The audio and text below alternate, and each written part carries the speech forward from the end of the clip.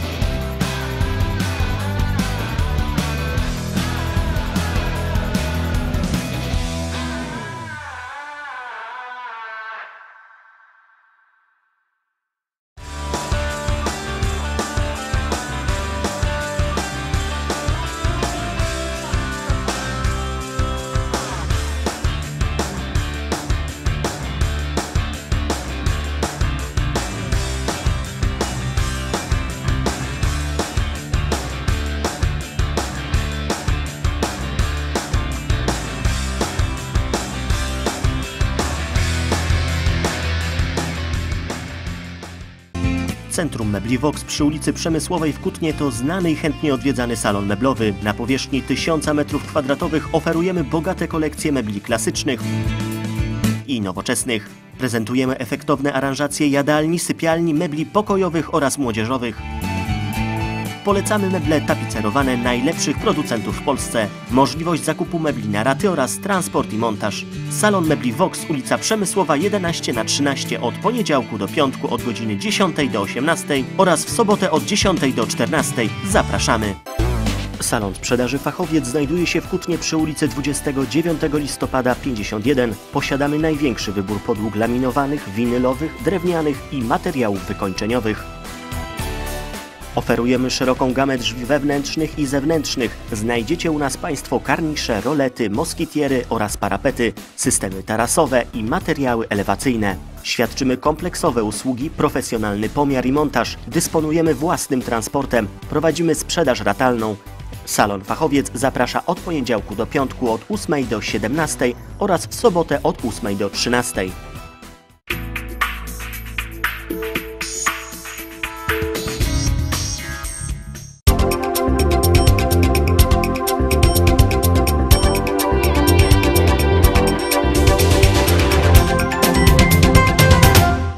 Dzień dobry Państwu, Radosław Wąs. Dziś mamy wtorek, 27 dzień marca, zaś imieniny obchodzą Lidia, Aleksander i Franciszek, a my zaczynamy wtorkowe wiadomości dnia.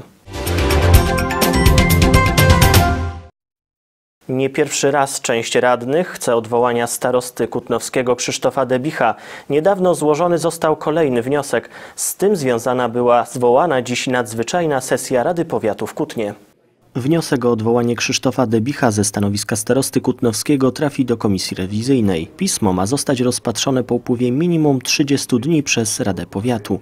Zdaniem radnych Konrada Kłopotowskiego, Marka Drabika, Marka Ciąpały, Mirosławy Galgrabowskiej, Artura Gieruli i Jacka Urbaniaka, którzy wniosek złożyli, działalność Krzysztofa Debicha na stanowisku starosty jest, jak twierdzą radni wnioskodawcy, szkodliwa, głównie ze względu na pogłębiający się kryzys dotyczący szpitala. W zwołanej dziś sesji nadzwyczajnej wzięło udział 19 radnych. Prezydent Zbigniew Burzyński wręczył nagrody wyróżnionym autorom prac w konkursie na najlepszą pracę dyplomową na temat Kutna. 27 marca podczas sesji Rady Miasta Kutno prezydent Zbigniew Burzyński dokonał uroczystego wręczenia nagród wyróżnionym autorom prac w konkursie na najlepszą pracę dyplomową na temat Kutna. Konkurs czy idea narodziła się kilka lat temu, gdy uświadomiliśmy sobie, że przecież w różnych miejscach w kraju, na uczelniach powstają prace dotyczące między innymi Kutna i dobrze by było, aby te prace przybliżyć e, większej e, grupie osób, mieszkańcom ziemi kutnowskiej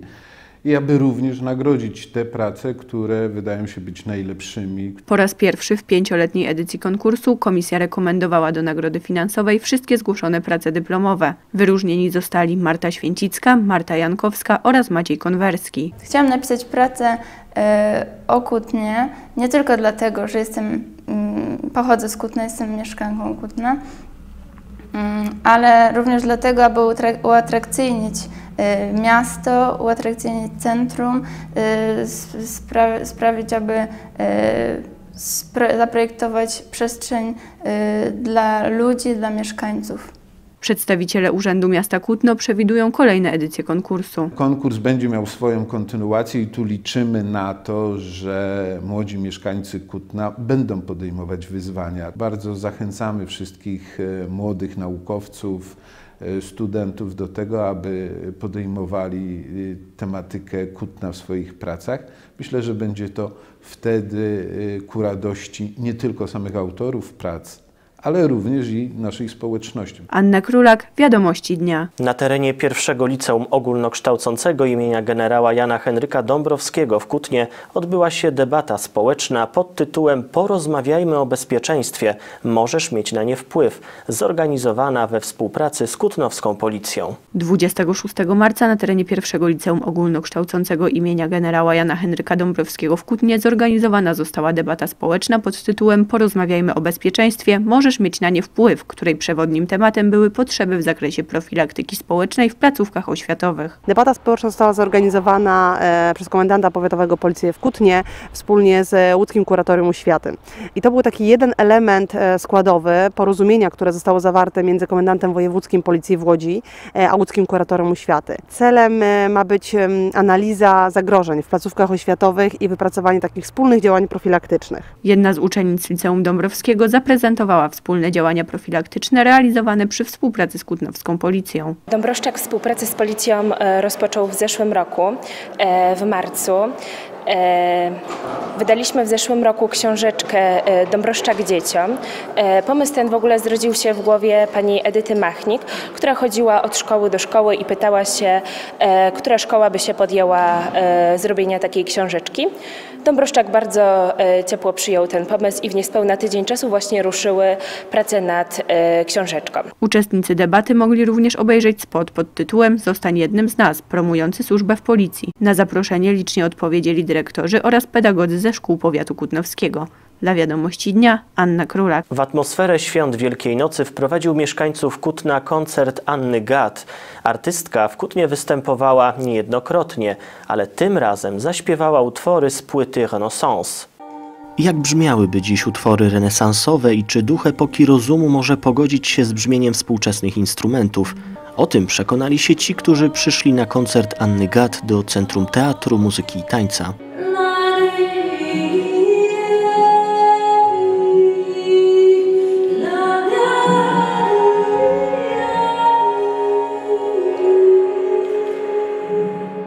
Gad z pochodzenia kutnianka wykonała utwory z płyty Renaissance. Chciałabym przybliżyć e, słuchaczom publiczności e, ówczesną muzykę z e, XV wieku. E, jak ona mogłaby brzmieć w dzisiejszych czasach, e, w jaki sposób e, jest odczuwana przez e, współczesnych ludzi. Anna Gad została nominowana do Fryderyka w kategorii Artysta Roku. Jest to jedno z wydarzeń w moim życiu. Muszę przyznać, że żyję teraz o wiele bardziej nową płytą i, i tym, że mogę powrócić do grania w, w kwartecie niż tą nominacją, która jest na pewno bardzo miła.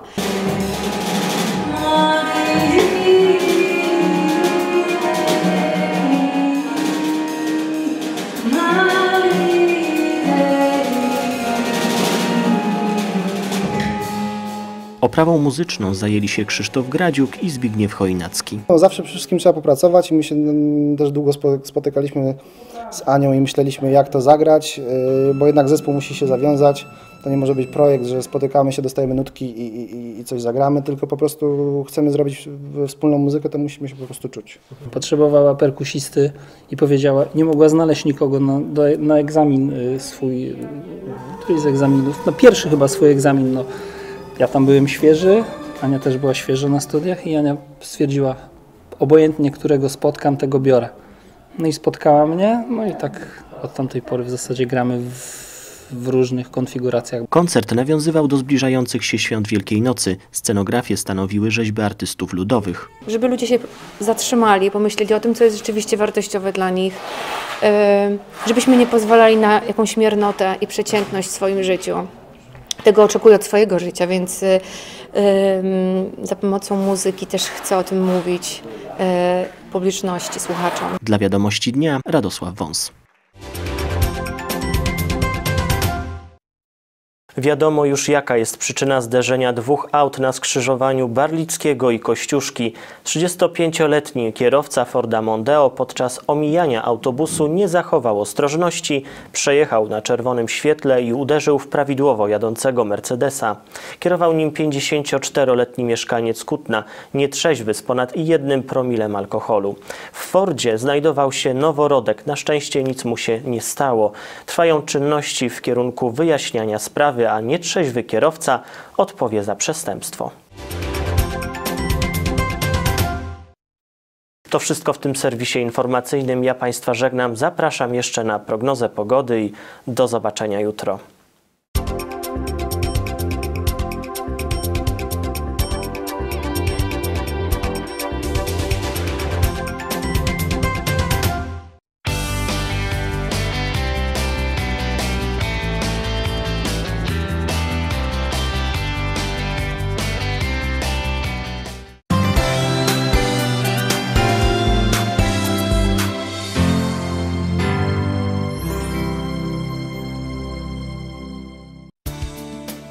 W nocy zachmurzenie duże z przelotnymi opadami śniegu w całym regionie. Temperatura minus 1 stopień w Kutnie, minus 3 w Łowiczu i Łęczycy. Ciśnienie wyniesie 1001 hektopaskali. W dzień zachmurzenie duże z przelotnymi opadami. Temperatura 5 stopni w całym regionie. Ciśnienie wyniesie 997 hektopaskali. W nocy zachmurzenie duże z przelotnymi opadami śniegu. Temperatura 1 stopień w całym regionie. Ciśnienie wyniesie 990 hektopaskali.